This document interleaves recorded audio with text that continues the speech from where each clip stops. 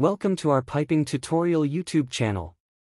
In this video, we'll be showing you how to understand slope in the piping isometric drawings and 3D model view. Please watch the video until the end, I am sure you will improve your piping knowledge with the information we provide here. Please subscribe to our channel before starting the video. In this video, we will learn how to calculate pipe slope in piping systems. Let's starting pipe tutorial video. As you can see this is pipeline consist, two off-pipe pieces. 1, 2 and 3 piece 90 degree pipe elbows. 1 and 2 flanges. Also, in this pipeline showing 5 different elevations first, second, third, fourth and last fifth elevation. The slopes are indicated by these symbols in pipe isometric drawings. Let's starting to read and try to understand all symbols on this pipeline.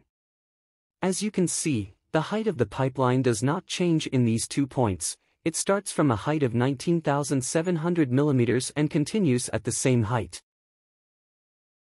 At this point, the pipeline turns upwards with a 90-degree elbow and continues for a length of 800 mm. Here we can easily see that the elevation difference is 800 mm, 20,500 minus 19,700 is equal to 800 mm. The next elevation is 20,480 mm.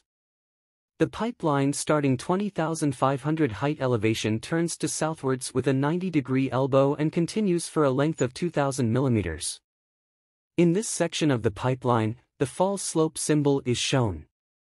The fall slope is expressed as a ratio of 1 to 100, that is, for every 1 unit of vertical height, there are 100 units of horizontal distance. Let's calculate with slope ration in this example. In this pipe isometric drawing, the slope of the fall at a horizontal distance of 2000 is expressed as a ratio of 1 to 100. 1 to 100 equals x 2000 ratio. Continue x equals 2000 to 100 ratio. Continue the calculation and found, x equals 20 millimeters. This means that the 2000 millimeter long pipeline falls 20 millimeters down at the other end with a slope of 1 to 100 ratio. It is also possible to calculate the slopes in the pipelines with the elevations showing at the turns in the pipeline. In this piping isometric drawing, the initial height of the pipeline elevation is 20,500 mm, and the height of the pipeline at the second turn with a slope of 1 colon 100 elevation is 20,480 mm. Where, the initial height 20,500 mm, minus the second height 20,480 mm, equal will be 20 mm. At last pipeline turns eastwards with a 90 degree elbow and continues with same elevation. I also took advantage of the 3D model view of the pipeline to fully understand the meaning of the slope.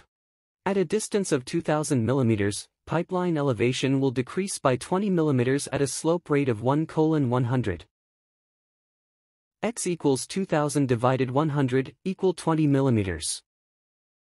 When you want to calculate a slope, you can use both method on the piping drawings. This tutorial video is finishing here, if you have any question about video, you can write comments in the comments section.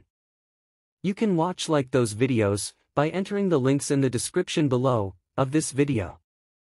If you liked our video, please subscribe to our piping tutorial channel and share these piping tutorial videos to your friend.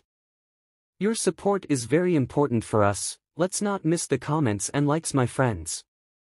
Thank you for watching, see you on next video take care.